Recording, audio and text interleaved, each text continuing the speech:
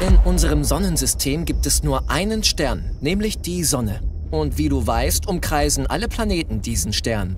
Aber im Universum gibt es mindestens ein System, in dem ein Planet zwei Sonnen umkreist, und zwar Kepler 16b. Es ist aber ein unwirtlicher und kalter Planet, der halb aus Gestein und halb aus Gas besteht.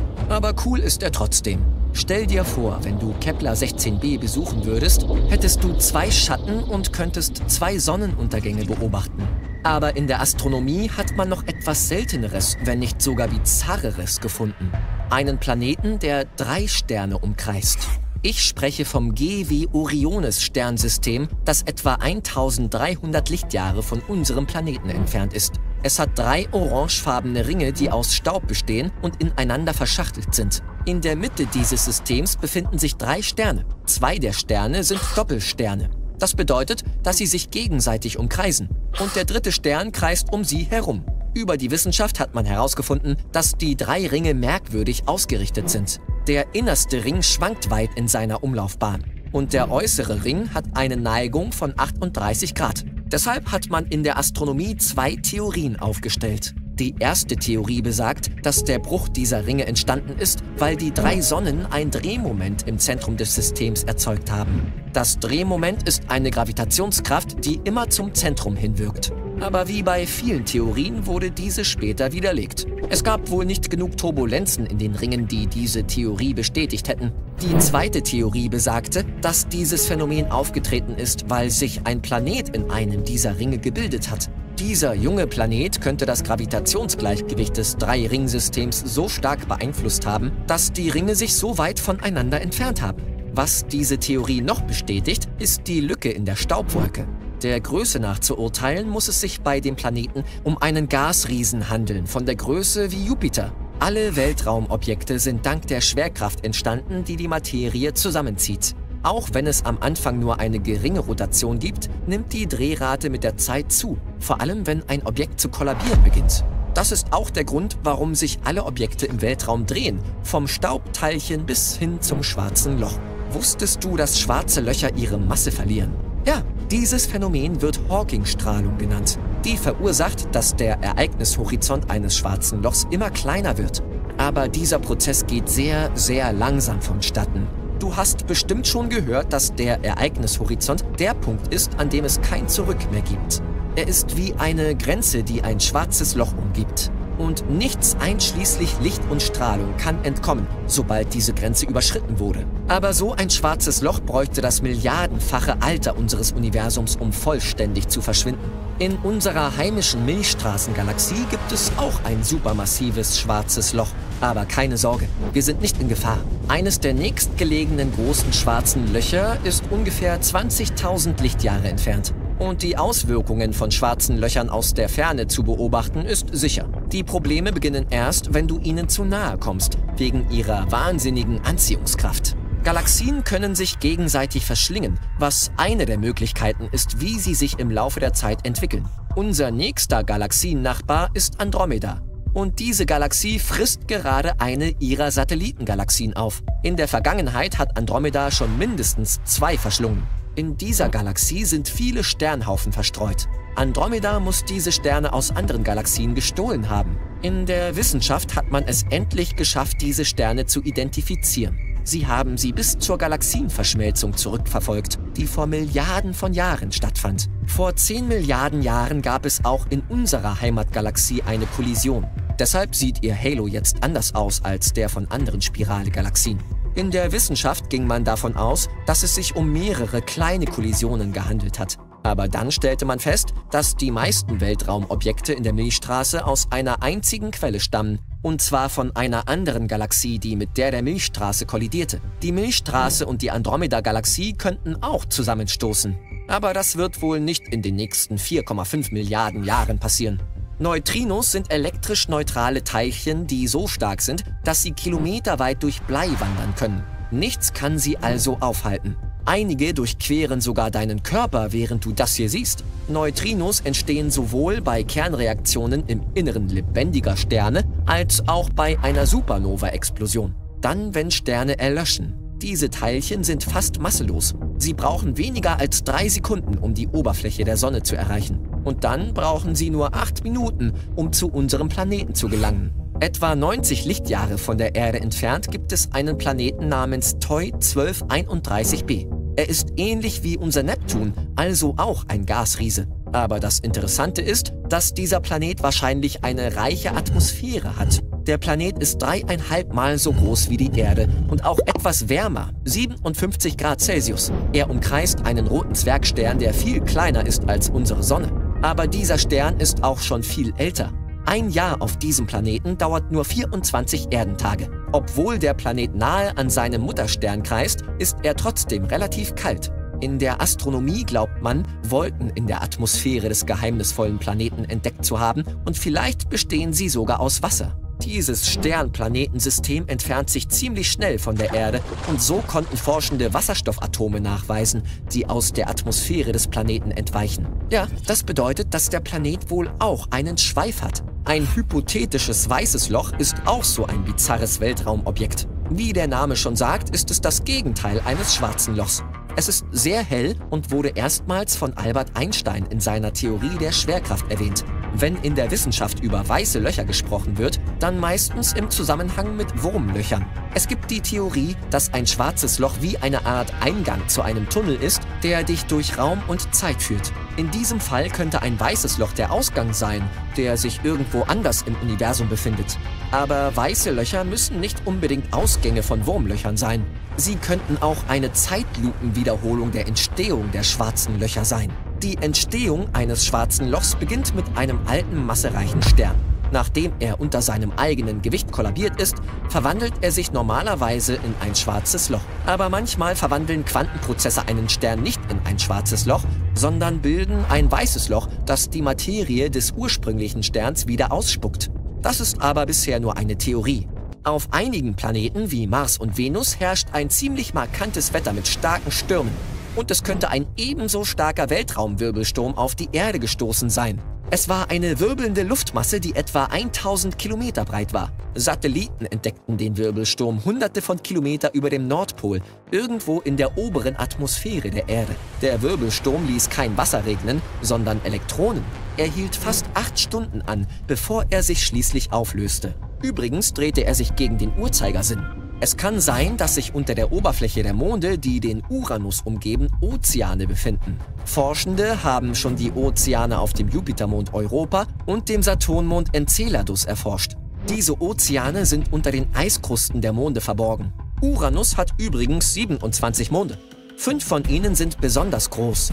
Das sind Umbriel, Titania, Oberon, Miranda und Ariel. Als man in den 1980er Jahren die Voyager 2 dorthin schickte, um Bilder von diesen fünf Monden zu machen, entdeckten Forschende, dass sie sehr viele Krater haben und aus Eis und Gestein bestehen. Die Bilder, die damals untersucht wurden, zeigten auch Anzeichen von flüssigem Wasser, das aus den Tiefen der Monde emporströmte und an der Oberfläche gefror. Eine der plausibelsten Erklärungen sind also Ozeane, die sich unter der Oberfläche befinden. Wenn sich ein Mond um einen Planeten bewegt, wird er von der Anziehungskraft des Planeten angezogen und bleibt in seiner Umlaufbahn. Dieses Ziehen erzeugt einen elektrischen Strom, der sich in ein Magnetfeld verwandelt. Ein solches Magnetfeld wird als induziert bezeichnet. Man geht davon aus, dass unterirdische Ozeane der Grund dafür sein könnten, dass dieses induzierte Feld erzeugt werden kann. Saturn ist bekannt für seine berühmten Ringe. Aber auch Neptun, Uranus und Jupiter haben Ringe. Doch Saturn hat zusätzlich noch etwas Besonderes, was wir noch bei keinem anderen Planeten entdeckt haben. Es ist dieser riesige sechseckige Sturm, der sich um den Nordpol des Planeten bewegt. Jede seiner Seiten ist fast 12.500 Kilometer lang. Das ist eine Fläche, die so groß ist, dass wir fast vier Erden darin unterbringen könnten. Laut Wärmebildern reicht dieses sechseckige Wolkenmuster etwa 100 Kilometer tief in die Saturnatmosphäre. Aber der Planet versteckt sich hinter dicken Wolken, durch die das Sonnenlicht nicht durchdringen kann. Deshalb können wir nicht sehen, was genau da vor sich geht. Aber natürlich gibt es Theorien dazu. Du weißt, Saturn ist ein Gasriese. Wenn das Gas tief im Inneren des Planeten erhitzt wird, dringt es nach außen. Es wird sehr viel Energie freigesetzt, wenn das Gas aufsteigt, sich ausdehnt und an Dichte verliert. Die gleichen Prozesse verursachen übrigens auch Hurrikane und Tornados auf unserem Planeten. Auf Saturn gelangen die wirbelnden Gase aus einer Hochdruckzone in die äußeren Schichten des Saturns. Und diese Gase sind der Auslöser für den mächtigen Sturm mit seiner ungewöhnlichen Form. Auf der Venus ist es außergewöhnlich heiß, da schmilzt sogar Blei. Sie ist der heißeste Planet unseres Sonnensystems. Auf ihr herrscht ein extrem hoher Druck und extrem starke Winde toben. Sie sind 50 mal schneller als die Rotation des Planeten. Und sie werden immer stärker. Wissenschaftler haben dafür keine Erklärung, aber in den Wolken der Venus haben sie etwas Interessantes gefunden. Einen potenziellen Hinweis auf verwesende biologische Materie. Gibt es dort etwa Leben? Nicht wirklich. Die Venus ist viel zu trocken und stürmisch und bietet auch nicht ausreichend Wasser, um Leben zu ermöglichen. Ringe um Planeten sind weiter verbreitet, als wir dachten.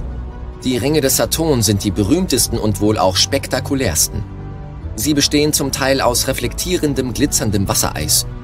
Etwas derartiges gibt es in unserem Sonnensystem nicht noch einmal. Jupiter, Uranus und Neptun haben aber auch Ringsysteme. Nur bestehen diese vorrangig aus Staub und Gestein. Aber nicht nur Planeten, Astronomen fanden sogar einen Asteroiden mit Ringen. Und warum hat dann die Erde keine Ringe? Gasriesen haben Ringe, Gesteinsplaneten hingegen nicht. Es gibt zwei Theorien, wie sich Ringsysteme bilden.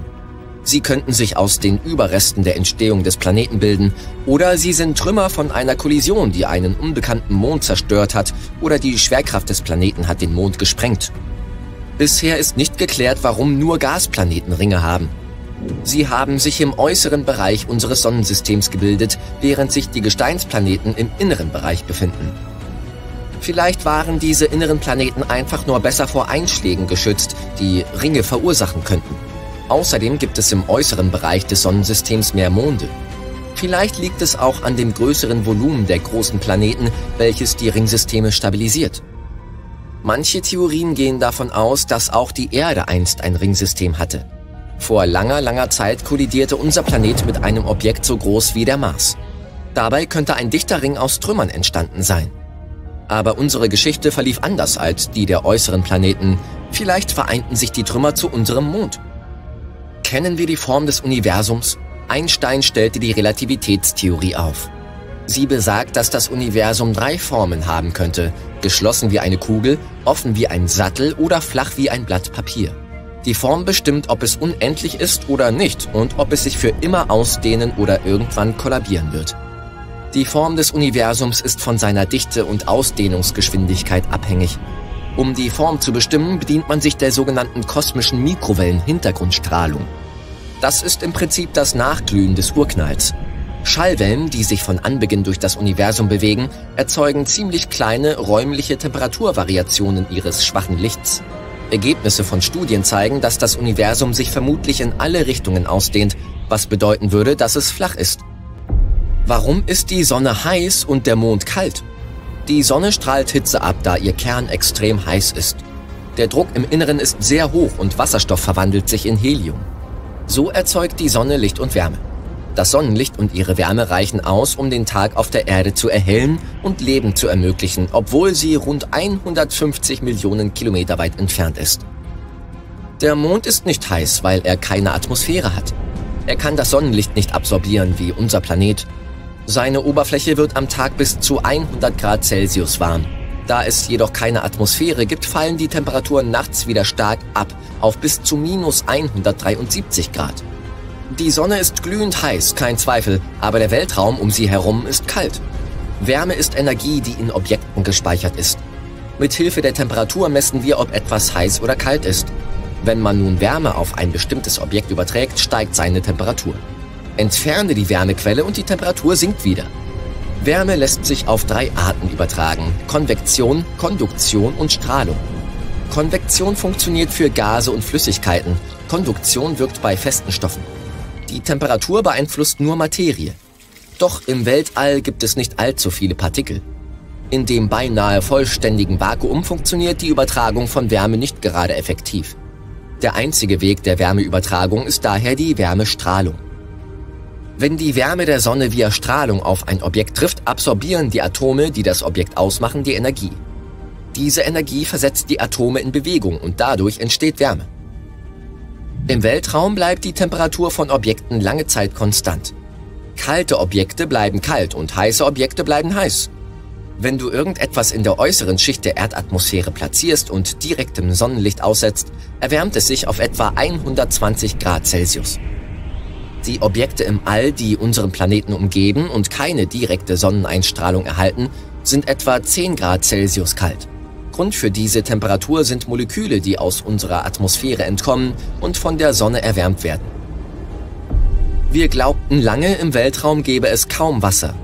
Heute wissen wir, dass es im gesamten Sonnensystem Wasser gibt. Man findet es für gewöhnlich auf Asteroiden und Kometen. Auch Krater auf Merkur und unserem Mond, die permanent im Schatten liegen, enthalten Wasser. Auf dem Mars findet man an den Polen und unter dem oberflächlichen Staub Eis.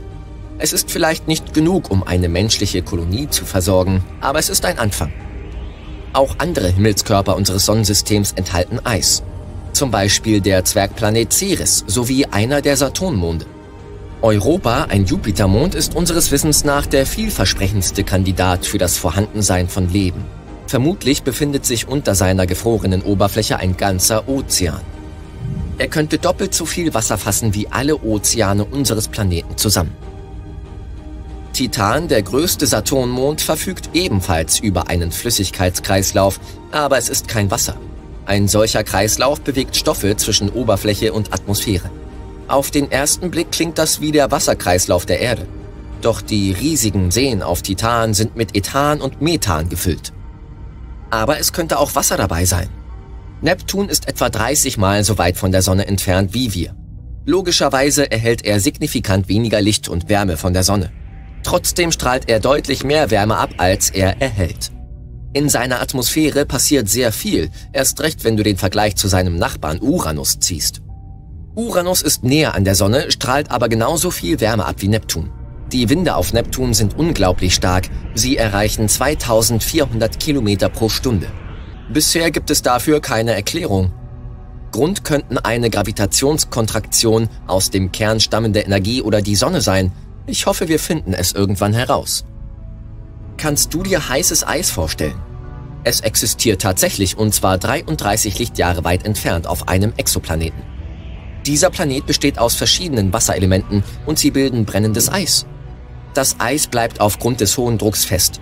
Dabei erreicht die Oberflächentemperatur bis zu 300 Grad Celsius. Das Wasser wird dadurch extrem heiß und steigt in Form von Dampf auf. Stell dir vor, Eis in deinen Kaffee zu tun, um ihn aufzuwärmen. Wenn du in die Sterne schaust, wirfst du stets einen Blick in die Vergangenheit. Sterne sind verdammt weit weg und ihr Licht braucht unheimlich lange, um bei uns anzukommen. Es wäre also möglich, dass einige von ihnen bereits ausgebrannt sind und schon nicht mehr existieren. Die Säulen der Schöpfung sind ein schönes Beispiel. Sie sind ein Teil einer 7000 Lichtjahre von uns entfernten Region namens Adlernebel. Wolken aus Gas und Staub formen die Säulen. Wissenschaftler entdeckten sie im Jahr 1995. Tatsächlich wurden sie jedoch durch eine Supernova vor mindestens 6000 Jahren zerstört. Das Bild von 1995 zeigt also die Säulen vor 7000 Jahren. Auf dem Mars finden wir den größten Vulkan des Sonnensystems, zumindest soweit wir wissen. Er ist größer als der ganze Staat Hawaii und hundertmal mächtiger als der größte Vulkan auf der Erde. Der rote Planet scheint so ruhig, doch einst dominierten Vulkane seine Oberfläche. Die Vulkane auf dem Mars konnten vielleicht wegen der schwächeren Gravitation so groß werden. Außerdem bewegt sich die Kruste auf unserem Planeten permanent, während sie auf dem Mars vermutlich starr ist. Sieh nach oben. Genau jetzt gibt es einen Meteoritenschauer. Na gut, nicht wirklich. Aber du hast geguckt. Magst du den Vollmond? Es gibt bald wieder einen, am 27. Februar, um genau zu sein. Wir hoffen inständig, dieses Video kommt rechtzeitig raus. Der Mond wird hell erleuchtet sein, weil er direkt gegenüber der Erde auf der Seite der Sonne stehen wird. Sie wird den Mond so sehr strahlen lassen, dass die Nacht unvergesslich sein wird. Sieh ihn dir an. Erinnert er dich nicht auch an einen gigantischen Schneeball, der da oben am Himmel baumelt? Manche Ureinwohner der nördlichen Hemisphäre müssen das auch so gesehen haben. Denn sie nannten das Phänomen, wenn er so groß und voll ist, Schneemond. Okay, dann schnapp dir mal dein Teleskop. Am 9. und 10. März stellen sich drei Planeten in einer ästhetischen Reihe auf. Von unten angefangen siehst du Jupiter, Saturn und schließlich den Merkur. Je nachdem, wie gut dein Teleskop ist, das heißt, wenn du überhaupt eins besitzt, kannst du einige Details dieser drei Planeten erkennen. Das Teleskop neu ausrichten und voilà, da ist er, ein weiterer Planet. Als wären sie nicht tausende Kilometer weit voneinander entfernt. Aber das ist längst nicht alles. Man kann sie sogar mit bloßem Auge sehen. Du brauchst also gar kein Teleskop. Das sieht dann in etwa so aus. Drei strahlend weiße Kugeln am Himmelszelt. Trotzdem beeindruckend. Um sie zu erspähen, musst du circa eine halbe Stunde vor Sonnenaufgang gen Südosten schauen. Da sind sie. Regenschauer, Dusche gefällig oder lieber einen Meteoritenschauer? Diesmal kannst du dein Teleskop im Schrank lassen und keine Sorge, falls du den ein oder anderen Schauer verpasst, es gibt mehrere im Jahr. Sie treten gleichmäßig verteilt auf. Wir meinen nicht die Meteoriten, die kommen sich recht nahe. Schnapp dir deinen Kalender und notiere folgende Monate.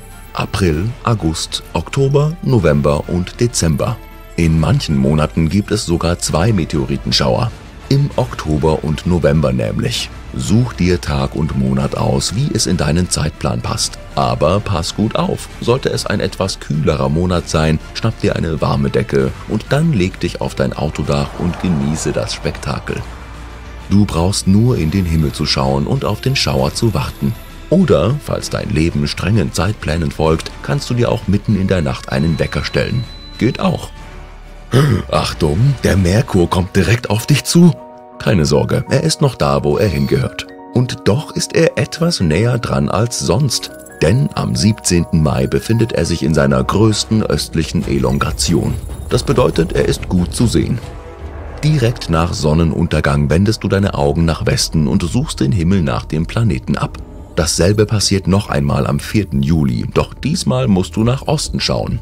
Vielleicht brauchst du einen Kompass. Starte den Tag am frühen Morgen kurz vor Sonnenaufgang, um einen fantastischen Blick auf den Merkur werfen zu können. Kaffee nicht vergessen. Nicht gesehen? Macht nichts. Die nächste Chance hast du am 14. September oder 25. Oktober. Wie fändest du es, wenn der Mond ein wenig seiner natürlich weißen Färbung einbüßte? Nur wenige Tage nach dem ersten Auftritt des Merkur kommt es am 26. Mai zu einer totalen Mondfinsternis. Der Mond wird dunkler und dunkler, als würde ihn jemand mit dunkelroter Farbe übergießen, bis er schließlich rostrot auf uns herniederleuchtet. Leider können das nicht alle von uns sehen. Nur wer auf einem Kreuzfahrtschiff im Pazifik oder in Ostasien unterwegs ist. Wohnst du neben dem Tokyo Tower, hast du Glück. In ganz Japan lässt sich das Schauspiel bewundern. Und auch wenn du im Westen Nordamerikas bist, kannst du die Verwandlung des Mondes bestaunen. Naja, Verwandlung, er ist ja kein Werwolf oder so. Es ist wohl eher ein Farbwechsel. So, immer noch der Mond.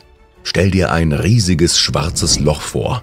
Nun, das nächste astronomische Ereignis erinnert zumindest an eins. Am 10. Juni wird bei der jährlichen Sonnenfinsternis der Mond maximal von der Erde entfernt sein.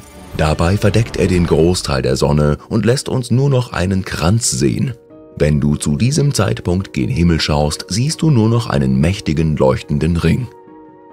Den Mond selbst wirst du dabei nicht wirklich sehen. Er sieht aus wie das unendliche Universum, keine Farbe, nur ein rabenschwarzer Fleck. Oh, und der Ring ist natürlich Sonnenlicht. Da wir gerade bei Ringen sind, ich hätte da noch einen. Den Saturnring. Dieser Planet ist voll ausgerüstet. Er hat einen Ring und, bist du bereit, 82 Monde. Es scheint, als tauche alle paar Jahre ein neuer aus dem Nichts auf. Na, jedenfalls wird der Planet am 2. August der Erde am nächsten sein. Und die Sonne wird ihn fleißig ausleuchten, dass wir einen guten Blick auf ihn werfen können. Er wird nicht nur heller sein als an allen anderen Tagen im Jahr, sondern auch die ganze Nacht zu sehen sein. Also Teleskop wieder raus. Wenn du seinen Ring und ein paar seiner Monde, die am hellsten leuchten, sehen willst, brauchst du ein mittelgroßes Exemplar. Und noch ein weiterer Planet nähert sich uns, Jupiter. Diesmal am 19. August. Es wird genauso ablaufen wie beim Saturn. Die Sonne strahlt den Planeten ordentlich an und wir können gucken. Der Unterschied ist nur, dass du schon mit einem guten Fernglas die vier größten Monde des Planeten begutachten kannst. Sie sehen zwar nur wie winzige Pünktchen aus, aber jetzt weißt du wenigstens, was du da siehst. Okay, hast du dir schon was wegen der Meteoritenschauer, die wir vorhin erwähnt haben, überlegt? Also der beste ist der sogenannte Perseiden-Meteoritenschauer. Da geht es am Himmel zu wie an einer Ballwurfmaschine. Nur, dass sie eben Meteoriten abfeuert. Während dieses besonderen Schauers kannst du bis zu 60 Meteoriten pro Stunde sehen. Auch sie leuchten sehr hell. Ha, sieh nur. Wusch, da ist noch einer. Die besten Tage, um gemütlich auf der Wiese liegend in die Sterne zu schauen, sind der 12. und 13. August. Um diese Tage herum ist der Himmel meist finster und klar. Perfekt für einen Meteoritenschauer. Stell dir einen blassroten Mond vor. Dieses Phänomen bezeichnet man als partielle Mondfinsternis. Zu beobachten ist sie am 19. November. Der rote Mond wird immer dunkler und dunkler, während er durch den Erdschatten zieht. Allerdings kann das auch nicht jeder sehen. Nehmen wir uns einen Globus, also an diesen Stellen kannst du die partielle Mondfinsternis betrachten. Im östlichen Eurasien, in Japan, auch auf dem Pazifischen Ozean, aber ohne Boot kommt man da schwer hin. Dann wäre da noch Nordamerika, Mexiko, Zentralamerika und schließlich ein paar Teile vom westlichen Südafrika. Leg deine Schutzbrille noch nicht weg, einen haben wir noch. Es ist die letzte Sonnenfinsternis des Jahres. Und diese wird auch noch ganz besonders gut zu sehen sein, weil der Mond die Sonne ganze zwei Minuten lang verdeckt. Man sieht nur noch die geisterhafte Corona der Sonne, auch bekannt als äußere Sonnenatmosphäre. Das Traurige ist, dass du in der Antarktis oder im Südatlantik sein musst, um einen Blick zu erhaschen. Aber Vorsicht, ich habe gehört, da unten soll es recht kalt sein.